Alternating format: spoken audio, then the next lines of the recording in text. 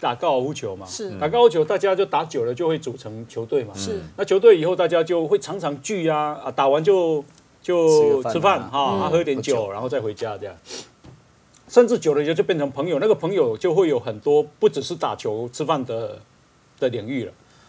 然后呢，有一天大家因为太熟了嘛，譬如说咱咱咱打给喝啊，啊，就公公公爱跟高翁朗朗切当啊，然后大家都知道说哦，那个刘律师啊，在中国发展的很好，赚很多钱，因为他一直讲嘛。啊，你恭喜你的名品出来哦，广东的番禺也有，然后山东的那个那个青岛也有。啊，你你我你安尼偌济人，啊，即马拢找无人啊，只要四五千，我其实爱八千人到。哇，讲啊，大家不疑有他。对。好啊，很熟了，甚至哦，嗯。带大家去青岛旅游，嗯，旅游，但没有没有去参观哦，没有参观工厂，只有，就去旅游。那旅游，因为他太熟了，他就说他太熟了。有一天他说，他就说，我最近要扩厂，嗯，安尼啦，嗯，我大家讲啊，真的哦，哎，我多，我二十亿，但是我即马佫欠两亿。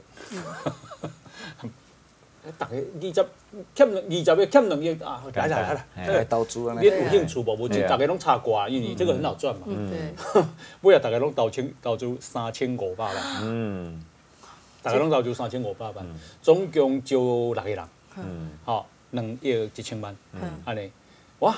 结果哦大家投资了以后，他竟然没来打球了。哎，可是我在台湾，他住哪里？不知道呢？对哎，他手机没接了呢。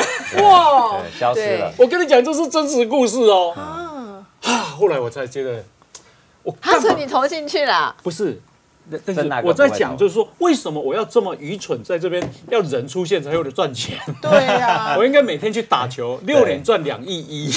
曾曾大哥，你的想法跟我一样，我每次接到这种案，就觉得我当律师怎么这么辛苦？对，那个一个二三十岁的人，他只要跟你讲说，哎，我现在在做比特币投资啊，黄金外汇买卖对，其实真的在做什么，他自己都不知道，他只是讲这些专有名词出来，你就相信说啊，可是我保证让你获利，一年给你二十趴报酬，嗯，每一个都吸七八亿以上，嗯，然后人就到海外去了。对是是是，那我们这边觉得到底在干嘛当律师怎么这么难赚？